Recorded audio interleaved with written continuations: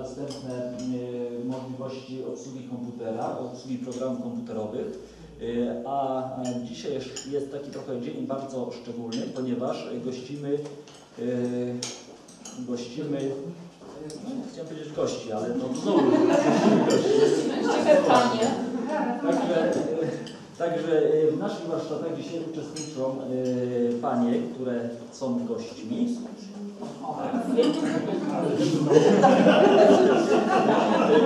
A Gosia już przedstawi konkretnie kto i skąd przybył tutaj do nas. No dobrze. Witamy serdecznie wszystkich gości. Kolej przedstawię. To jest Kasia Ścieżka, która opiekuje się naszym projektem. Tak? W Warszawie, to jest w Warszawie.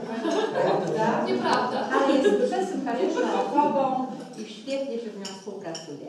Y, To nasze spotkanie ma też charakter takiej wizyty studyjnej.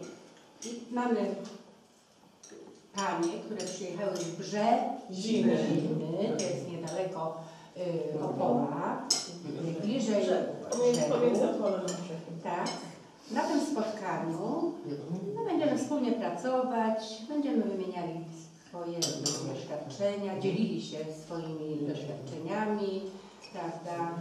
No i mam nadzieję, że E, Żeby to wszystko można było pogodzić, e, czyli dostarczyć materiały dla pana Henryka, który będzie umieszczał to wszystko na e, stronie internetowej, to grupy, e, taki jest plan przynajmniej, e, że grupy młodzieży i e, seniorów, starszych osób będą wspólnie chodzić i zbierać różne właśnie e, jakieś zabyt, fotografować zabytki, zbierać, dokumentować to, co mamy w Staniszowie e, w naszej historii. Porównywać to, pokazywać, e, jak się nasz Staniszów e, zmienia. I do tego jest potrzebna podstawowa programa obsługa komputera. Tak sobie tutaj założyliśmy, że grupy, tam na tamtej sali, którą Państwo widzieliście, spotykamy się, sprzętu nie mamy zbyt dobrego, ale cieszymy się, że jest to, co jest. E, Grupy mieszane, czyli młodzież siada z osobami starszymi i przerabiamy sobie po kolei wszystkie zajęcia.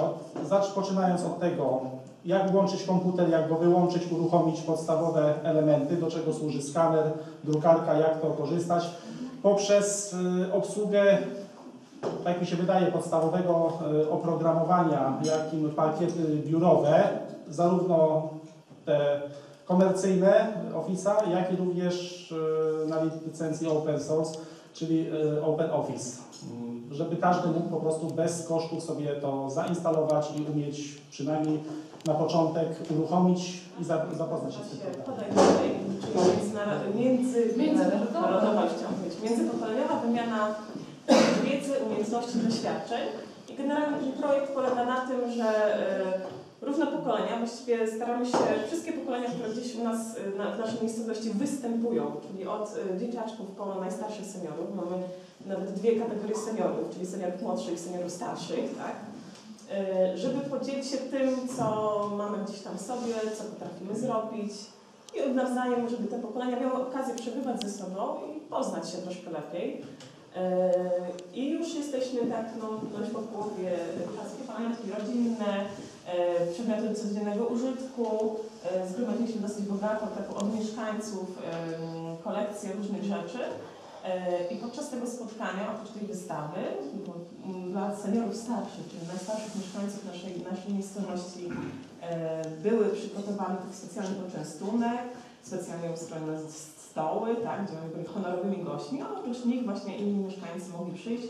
I zgromadziło się na tym spotkaniu, w ciągu tam, bo wystawę o jeden dzień przedłużyliśmy, no, tak jeden, jeden dzień, jeden dzień mieszkańców, więc Sami się zastanawiam, skąd się aż tyle osób dowiedziało i przyszło, ale udało się.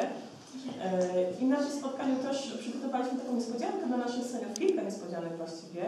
E, Zebraliśmy zdjęcia od, od właśnie mieszkańców, od seniorów e, i miejsc, miejsc, zrobiliśmy zdjęcia miejsc, które kiedyś istniały, ale teraz już nie ma. I zrobiliśmy taką, albo miejsc, które kiedyś były i teraz nadal są.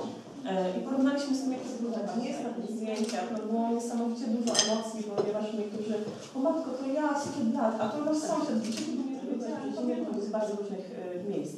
Większość to jest, są osoby przysiedlone ze wschodu, natomiast bardzo właściwie różnych okazało się w trakcie przygotowania tego projektu, że właściwie pomysł. Ale zaraz będzie na Was